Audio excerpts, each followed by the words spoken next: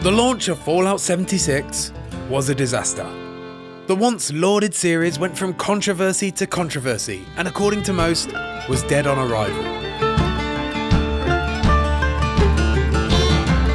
It was rough when we launched it. Knew we were going to have a lot of bumps. It was very tricky to enjoy. The player versus player was quite extreme. It was unintended how powerful they were. A lot of our players want them removed. But four years later, not only are Vault Dwellers still emerging, they're obsessing.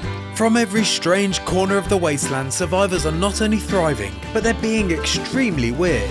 We would have an initiation ceremony where we would all beat the new member to death and then eat them. There was a player that was role playing as like a field medic. We bring back the arts, and with that, we bring back life. If you've got the imagination for it, you can make it happen. You know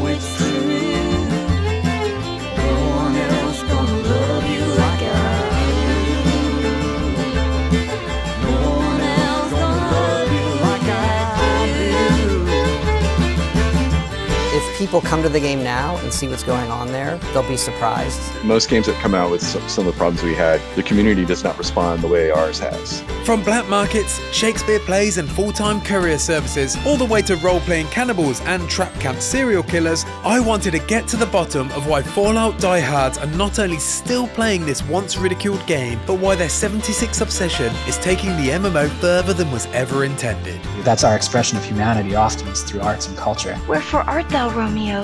It's a family for me. We don't take it for granted, that's for sure. This is the inside story of the weird and wonderful fans still playing Fallout 76.